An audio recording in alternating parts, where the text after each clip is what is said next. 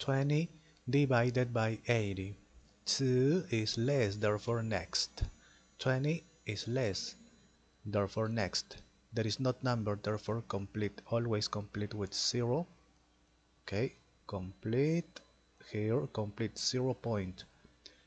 0 point 200 is not less therefore with 200 80 multiplied by which number is nearest to 200 but not greater.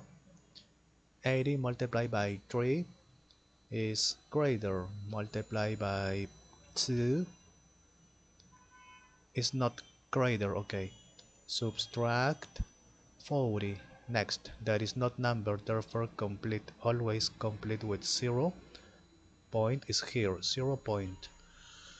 400 80 multiplied by 6 is greater. Multiplied by 5 400 subtract 0 0 therefore finish it.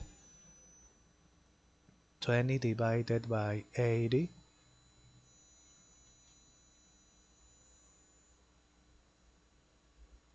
okay